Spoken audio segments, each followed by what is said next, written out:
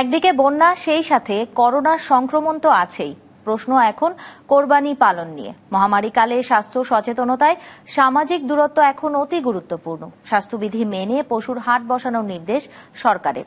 কিন্তু সকল জায়গাতে নেই ক্রেতা বিক্রেতার জন্য পর্যাপ্ত ব্যবস্থা। দেশের প্রায় অর্ধেক ডুবে আছে বন্যায়।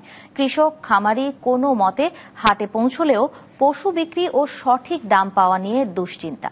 সংক্রমণ কমিয়ে আনতে অনলাইনে পশু কেনাবেচায় উৎসাহিত করছে প্রশাসন। সেখানেও রয়ে গেছে অপর্যাপ্ত ব্যবস্থা।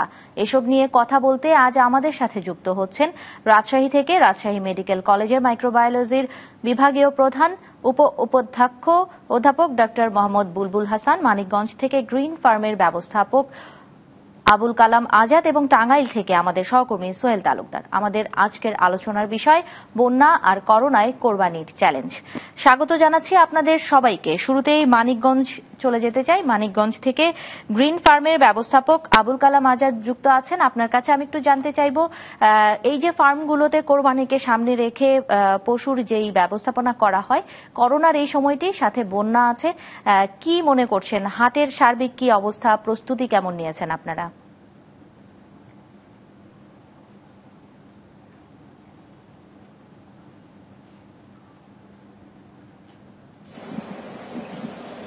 দেখেন ঈদের মাত্র কোরবানি ঈদুল আজহার মাত্র বাকি আছে আর সাত দিন।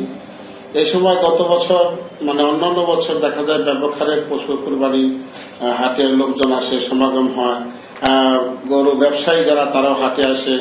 গরু ক্রয় কিনে খামারিদেরকে খামারে আসে, গরু ক্রয় করে। কিন্তু এখন আমাদের দেশে যে করোনা ভয়াবহ অবস্থা, আকার ধারণ করছে, পাশাপাশি বন্যা একেবারে মরার উপরে খরার ঘা এরকম একটা হয়ে গেছে।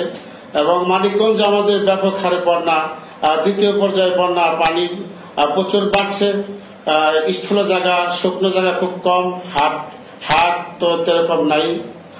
বেশিরভাগ জায়গায় ডুবে গেছে, হাট লাগতেছে না বেশি, যাও দুই এক জায়গায় হাট লাগছে, ক্রেতা কম। এই অবস্থায় আমরা খামারিরা বেশিরভাগ ব্যাপক হারে আমরা ক্ষতিগ্রস্ত হচ্ছি, গরু বৃদ্ধি হচ্ছে না। আবার গো খাদ্য নিয়েও বেশ সংকটাপন্ন আমাদের। প্রত্যেকটা জায়গায় তলিয়ে গেছে। ঘাসগুলি যে সমস্ত জমিতে আমরা লাগিয়েছিলাম সেগুলো তলিয়ে গেছে। খামারও পানি কাছাকাছি এসে গেছে, যে কোনো সময় খামারও পানি ঢুকতে পারে। অনেক জায়গায় গরমীয় মানুষ বিপাকে আছে, কোথায় উঠবে, স্থল জায়গা নেই। এই অবস্থায় আমরা খুব ব্যাপক হারে একটা সংকটাপন্ন আছি। যার জন্য আমাদের বেচা বিক্রি খুব কমে যাচ্ছে। খামারিরা ব্যাপক হারে ক্ষতির সম্মুখীন হচ্ছে। আর করোনা এবং বন্যা দুটি একই সাথে ব্যাপক আকারে ধারণ করেছে মানিকগঞ্জে। মানিকগঞ্জের প্রত্যন্ত অঞ্চলে যেখানে যাবেন বেশিরভাগ পানি পানি আর পানি। গোখাদ্যের ব্যাপক সমস্যা, পাশাপাশি করোনায় ব্যাপক সমস্যা। মানুষ হাটে, সামাজিক দূরত্ব বজায় রেখেও যেতে পারছে না, আর গরু নিয়ে যে হাটে উঠবে তাও যেতে পারছে না। পানির কারণে গরু নিয়ে হাটে যাতে যেতে পারছে না, সাধারণ গরিব মানুষ যারা দু একটি গরু পাচ্ছে তারাও সেই গরু নিয়ে হাটে যেতে পারছে না। বেশ, আমাদের যে খামারটা, আমাদের খামারে বেশ গরু, সাতান্নটা গরু আমরা ওখানে প্রস্তুত করে রেখেছি। কিন্তু এখনও বিক্রির তেমন সমাগম নেই। লোকজন যাও যে একজন আসি বেশি করে আসতে পারছে না এবং দাম নিয়েও ওরকম ভাবে ই হচ্ছে না। তার পোষণ করছে না। কি কি হয়? এরকম একটা ভাব। নিশ্চয়ই। আসলে ব্যবস্থাপনার তো অনেক ঝামেলা রয়ে গেছে। আমরা এবার একটু রাজশাহী মেডিকেল কলেজের মাইক্রো বায়োলজি বিভাগের বিভাগীয় প্রধান ডক্টর মোহাম্মদ বুলবুল হাসানের কাছে আমি জানতে চাইব বুলবুল হাসান এই যে করোনার একটি সংক্রমণ যাচ্ছে এই অবস্থায় বন্যাতে যেখানে মানুষ মানুষের জীবন বিপন্ন অবস্থা আবার কোরবানি পশুর হাটে স্বাস্থ্যবিধি মানার ব্যাপারে একটি বড় চ্যালেঞ্জ হয়ে দাঁড়িয়েছে। আপনি কি মনে করছেন এই করোনার এই সময়টিতে এই যে একটি ঈদকে আয়োজন করে ব্যবস্থা অবস্থা, এটি কি আসলে সংক্রমণ বাড়িয়ে দিতে পারে কিনা এবং কি চিত্র হতে পারে? ধন্যবাদ ডিবিসির অগণিত দর্শক শ্রোতাকে। এ ধরনের একটা যুব উপযোগী অনুষ্ঠানের আয়োজন করার জন্য এবং আমাকে এই অনুষ্ঠানে আমন্ত্রণ জানিয়ে কিছু বলার সুযোগ করে দেওয়ার জন্য আমি কৃতজ্ঞতা প্রকাশ করছি। আপনারা সবাই জানেন যে বাংলাদেশের মানুষ কিন্তু ধর্মপ্রাণ মুসলমান এবং আবেগপ্রবণ মানুষ। এবং প্রত্যেকটা মানুষেরই আপনার রাষ্ট্রীয় অধিকার আছে, সাংবিধানিক অধিকার আছে। এবং বিভিন্ন জনের বিভিন্ন মত, সবকিছু চিন্তা ভাবনা করে আমাদের রাষ্ট্রপ্রধান সিদ্ধান্ত নিয়েছেন যে কোরবানির এ সমস্ত হাটগুলোর আয়োজন করেছেন।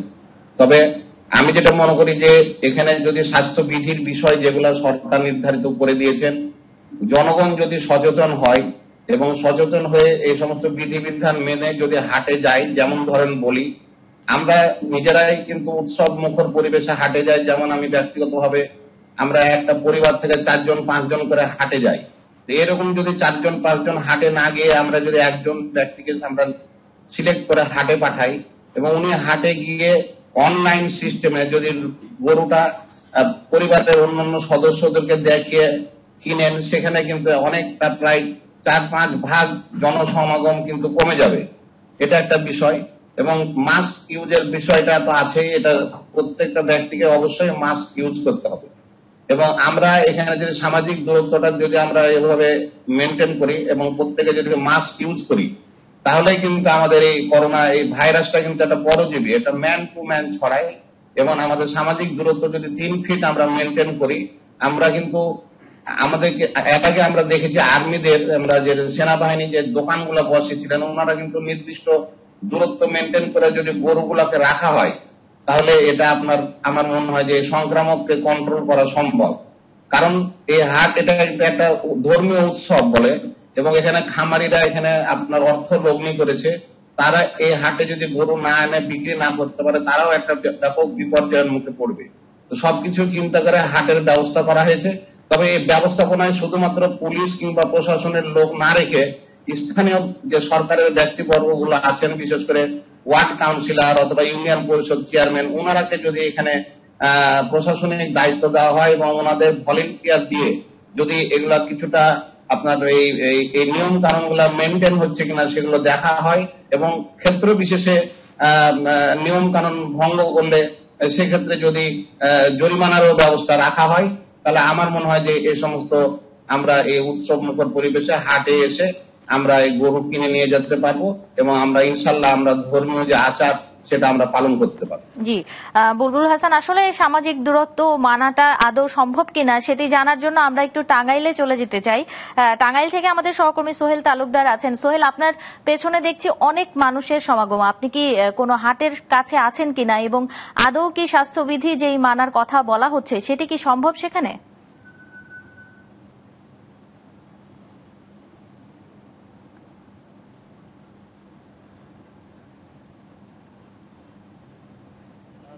আমি আছি টাঙ্গাইলের ভুয়াপুর উপজেলার একটি ঐতিহ্যবাহী হাট। এটি শিয়ালকোল হাট নামে পরিচিত।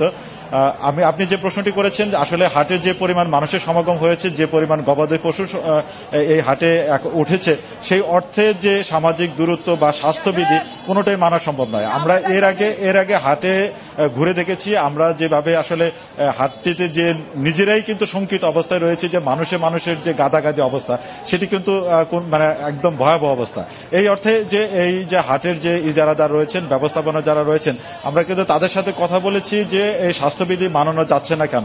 আপনি জানেন যে গ্রামের মানুষ বা সাধারণ মানুষের ভিতরে একটি, এক ধরনের কিন্তু যে প্রবণতাই রয়েছে যে নিয়ম না মানার জন্য, হাটের ইজারাদার কর্তৃপক্ষ সেই মানে সেই অর্থে যে স্বাস্থ্যবিধি মানানোর জন্য যে পদক্ষেপগুলি নেওয়ার প্রাথমিকভাবে তারা সেই ধরনের পদক্ষেপ নিয়েছিল, কিন্তু সাধারণ মানুষ সেই পদক্ষেপগুলো গ্রহণ করছেন না। আমার সাথে এই- মুহূর্তে হাটের একজন ইজারাদার রয়েছেন। জানতে চাচ্ছি যে, আপনারা কোনোভাবেই স্বাস্থ্যবিধি মানাতে পারছেন না কেমন, এবং গরুর যে পরিমাণ সমাগম হয়েছে, বেচা বিক্রি কেমন, আপনারা যে টাকায় ইজারা নিয়েছেন সেটি ওঠার উঠবে কিনা আপনার লসের সংখ্যায় রয়েছে? আমরা আমরা আসলে প্রথমেই আমরা ওই স্বাস্থ্যবিধি মেনে আমরা যে আরগুলা, বাঁশের যে আরগুলা বেঁধেছিলাম সেই সেইগুলি আসলে তার মাঝখান দিয়েও গরু ঢুকে গেছে, পর্যাপ্ত পরিমাণ গরু উঠেছে, কিন্তু আসলে বেচা কিনি আমাদের হাটে হাটে একদমই একদমই নেই।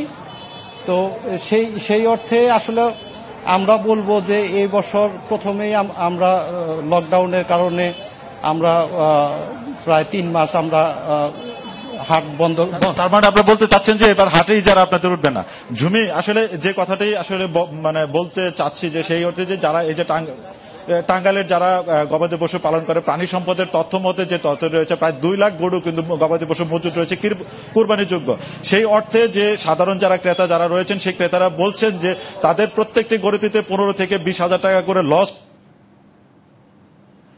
সোহেল আপনি থাকুন, নিশ্চয়ই আমরা পরবর্তীতে এই কোরবানির হাট নিয়ে আরও কথা বলব এবং যে অতিথিরা আছেন আপনারাও আমাদের সাথে যুক্ত থাকুন, একটি বিরতি নিয়ে আসছি। সোশ্যাল ইসলামী ব্যাংক লিমিটেড নিবেদিত মানচিত্রে একটি বিরতি নিচ্ছি। ফিরছি একটু পর, সাথেই থাকুন। সবাইকে আবারও স্বাগত। মানচিত্র নিবেদন করছে সোশ্যাল ইসলামী ব্যাংক লিমিটেড।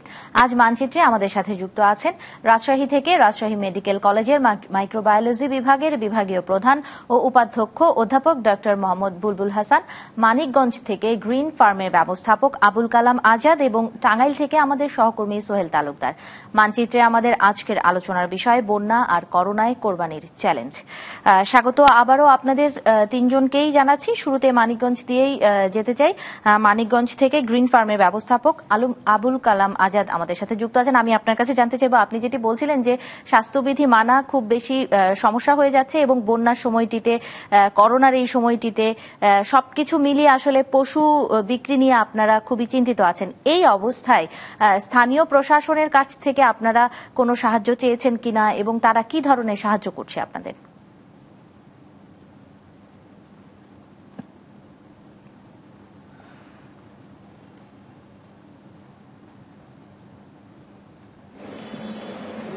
প্রশাসনিকভাবে আমাদের সহযোগিতা যতটুকু চাই তারা ততটুকু করে যাচ্ছে। কিন্তু আসলে যে বিষয়টা দাঁড়িয়েছে আমরা তো হাটে যে আহ, মানিকগঞ্জ বন্যার কারণে হাটের অবস্থা খুব শোচনীয় স্থল জায়গা খুব কম এখানে হাটে গরু ওঠানো খুব কঠিন হয়ে যাচ্ছে। এবং হাটে যাওয়াও দুটো একটা হাট লেগেছে আসলে কোরবানি বাকি আসার মাত্র সাত দিন। সাত দিনের মধ্যে হাটে বেচা কিনা খুব কম এবং হাটে গরু আছে কিন্তু কাস্টমার নেই। ক্রেতা নেই। আবার যারা গরুর ব্যবসা করে, তারাও গরু কিনতে চাচ্ছে না তেমন আর একটা কথা হলো প্রশাসনিক যে বিষয়টা, প্রশাসনিক তারা সার্বক্ষণিক চেষ্টা করে যাচ্ছে যে সহযোগিতা যতটুকু পারে তারা করার জন্য। কিন্তু যতটুকু প্রয়- প্রয়োজন, ততটুকু কিন্তু আমরা এরকম ভাবে পাচ্ছি না এই মুহূর্তে। কারণ করোনার পরিস্থিতি, করোনার ভয়ে এবং বন্যার কারণে মানুষের যে সামাজিক দূরত্বটা বজায় থাকার কথা সেটা করতে সেরকম থাকতেছে না। পাশাপাশি আমাদের বন্যার কারণে যে হাটগুলি যে পরিস্থিতি, সেখানে কিন্তু পরিবেশ সাথে হাটগুলি সেরকম রাখা যাচ্ছে না। আর গরুর থেকে একটি প্রশ্ন ছিল গরুর থেকে কি করোনা হইতে পারে, মানুষের থেকে কি গরুতে করোনা হইতে পারে কিনা? বিষয়টা আসলে ওরকম ভাবে এখনও আলোচিত হয়নি যে মানুষের ছয় সাত দিন হাতে গরু থাকলে করোনা হইতে পারে কিনা, এরকম একটা আলোচনা এখনও আমরা আসি নাই। তবে আমি এরকম আমার জানা নেই যে গরুর থেকে মানুষের থেকে গরুতে করোনা যায় কিনা। জি, এই বিষয়টি নিয়ে আমি একটু কথা বলতে চাই। রাজশাহী মেডিকেল থেকে আমাদের সাথে যিনি যুক্ত আছেন রাজশাহী মেডিকেল কলেজের মাইক্রোবায়োলজি বিভাগের বিভাগীয় প্রধান উপাধ্যক্ষ অধ্যাপক ডক্টর মোহাম্মদ বুলবুল হাসান। আমি আপনার কাছে এই বিষয়টি জানতে চাইব যে এই যে দীর্ঘ সময় ধরে বেশ কয়েকদিন ধরে পশুর হাট বসবে অনেক মানুষের জনসমাগম হচ্ছে স্বাস্থ্যবিধি মানা সম্ভব হচ্ছে না দূরত্ব রাখা সম্ভব হচ্ছে না এই যে একটি অবস্থায় মানুষ তো করোনা সংক্রমিত হতেই পারে যেহেতু এটি একটি পরজীবী ভাইরাস। এর মধ্য দিয়ে কি পশু যারা আছে যে যেই পশুগুলো রাখা হয়েছে হাটে, তাদেরও কি করোনা সংক্রমণের ঝুঁকি আছে কিনা? এরকম কোন আপনি যে বিষয়ে প্রশ্ন করেছেন, এই পশুদের, পশুরা করোনা দিয়ে আক্রান্ত হওয়ার এরকম কোনো আপনার সর্বসম্মতিক্রমে কিংবা স্টাবলিশড কোনো থিওরি নাই? তবে আমার যতটুকু জানা আছে যে, করোনা ভাইরাস দিয়ে পশুরা আক্রান্ত হওয়ার সম্ভাবনা নাই। This virus is transmitted from man to man and এটা হিউম্যান টু হিউম্যান ট্রান্সমিশন হয়। এ কারণে এটা আমরা কখনো জুনোটিক ডিজিজ বলা হয় না। কারণ আমরা জানি যে অসুখগুলা এনিমাল থেকে ম্যানে আসে বলা হয় জুনোটিক ডিজিজ কিন্তু এই করোনা যে অসুখটা এটা আপনার জুনোটিক ডিজিজ না। এটা হিউম্যান টু হিউম্যান এটা ট্রান্সমিট হয়। আমি একটা কথা বলতে চাই যে আপনি আপনার জীবন আপনার কাছে আপনার প্রোটেকশন আপনাকে মেনটেন করতে হবে। এখানে যদি আমরা নিজের জীবনের মূল্য না বুঝি এবং এই এই রোগের ভয়াবহতা উপলব্ধি করে আমরা সরকার নির্ধারিত যে সমস্ত বিধিবিধান যেটা আছে সেগুলো যদি পালন না করি এবং সেভাবে যদি দায়িত্বশীল আচরণ না করি, আমরা যদি আবেগকে প্রশমিত না করি এবং আমরা যদি আমাদের যে সমস্ত বিষয়গুলো করণীয় সেগুলো না করি, আপনাকে বুঝতে হবে এখানে সেলফ মোটিভেশন হতে হবে। Self motivation is best motivation for self protection for self interest এখানে আপনাকে নিজে নিজে, কেউ যদি ঘুমিয়ে জেগে জেগে ঘুমিয়ে থাকে তাহলে তাকে জাগানো সম্ভব না। এই কারণে আমি যেটা মনে করি এটা আপনাকে ব্যক্তিগত আপনার সুরক্ষা আপনাকেই নিতে হবে। এখানে সরকার আপনাকে সহযোগিতা করতে পারে। কারণ এটা একটা বৈশ্বিক মহামারী। এটা শুধু ডাক্তার কিংবা পুলিশ দিয়ে কন্ট্রোল করা সম্ভব না।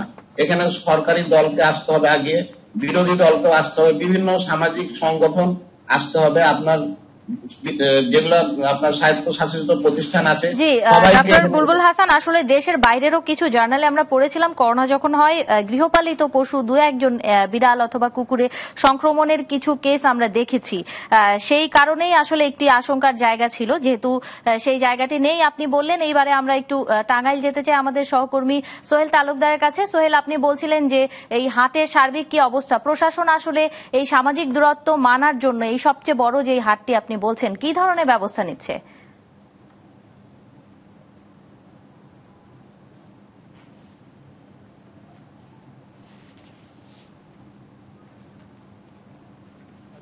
এটি যে টাঙ্গাইলের শুধুমাত্র সব থেকে বড় হাট তা কিন্তু নয়, এর মতো কিন্তু আরও সত্তরটি স্থানে এই এই একই ধরনের হাট কিন্তু বসছে। আপনি জানেন যে টাঙ্গাইল কিন্তু যেহেতু চরাঞ্চল রয়েছে এবং বড় একটি জেলা, সেক্ষেত্রে কিন্তু গবাদি পশু পালনের যে একটি যে জায়গা, সেটি কিন্তু একটি উর্বর একটি জায়গা। সেই অর্থে টাঙ্গাইলে প্রায় সত্তরটি স্থানে একই ধরনের হাট বসছে এবং সর্বদাই কিন্তু এই ধরনের যে সামাজিক নিরাপত্তা, যে ন্যূনতম সামাজিক নিরাপত্তা আমরা যদি বলি, সেটি কোনো মানা হচ্ছে না। আর প্রশাসনের যদি আপনি বলেন যে প্রশাসন শুরুর দিকে করোনা মোকাবেলায় যে আজ থেকে তিন মাস আগে যে ধরনের তৎপরতা ছিল, এখন তার বিন্দু মাত্র কোনো প্রশাসনের তৎপরতা নেই এবং শুধুমাত্র হাট না, যে কোনো স্থানে আপনি জানেন যে ঈদ চলে এসেছে, মার্কেট বিপণী বিতানগুলোতে গুলোতেও কিন্তু মানুষের পর্যাপ্ত ভিড় আমরা লক্ষ্য করেছি। কোথাও কোথাও আমরা প্রশাসনের এই ধরনের যে সামাজিক দূরত্ব বজায় রাখার জন্য যে যে কার্যক্রমগুলি, সে কার্যক্রমগুলি আমরা দেখিনি। যে, আর যেহেতু আমরা টাঙ্গাইলে কিন্তু প্রতিদিনই হু হু করে করোনা রোগীর সংখ্যা করোনা রোগীর সংখ্যা বাড়ছে, সেই অর্থে আমরা বলতে পারি যে এই যে সত্তরটি স্থানে হাট বসবে এবং করোনা সংক্রমণ ঝুঁকি, গুচ্ছ সংক্রমণ ঝুঁকি এটা বেড়েই যাচ্ছে। মনে করেন এই যে যারা এই স্বাস্থ্য সংশ্লিষ্ট যারা রয়েছেন তারা।